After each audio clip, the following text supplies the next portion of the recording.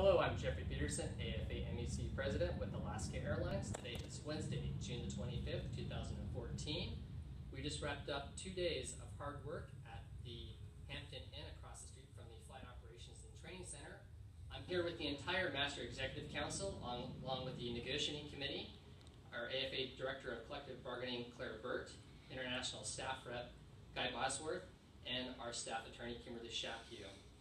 Uh, to talk to you about what we've done this week. and also introduce our entire negotiating committee, starting over uh, at my far right, Christina Fries. So we just finished two days of long training in which we went over some mock bargaining to get a little bit more experience in that, as well as the Railway Labor Act, which provided us a platform for more information. We are definitely excited and we are all on the same page.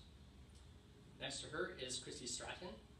Today we presented the executive summary of the survey to management and the National Mediation Board, and we'll be presenting, publishing to the membership shortly. We have our staff negotiator, Paula Mastrangelo.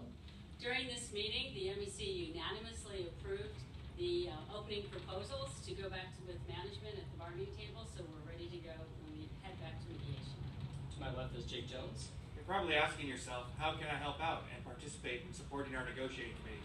You can start by wearing your red pin. We need 100% participation. And how do we get that red pin, Jake? You need to reach out to your mobilization chairs. You can find your mobilization chairs by visiting us online at alaskamec.org slash mobilization. And over to my far left is Lisa Pinkston. We are all fully trained at this time and looking forward to getting back to the table with management to begin our negotiations. We do that July 8th in Washington, D.C. at the National Mediation Board. So what can you do in the meantime to, uh, to be prepared for our next negotiation session? You can stay informed and stay strong, stay engaged. You can find more information at alaskamec.org slash negotiations. We are five bases. Standing strong.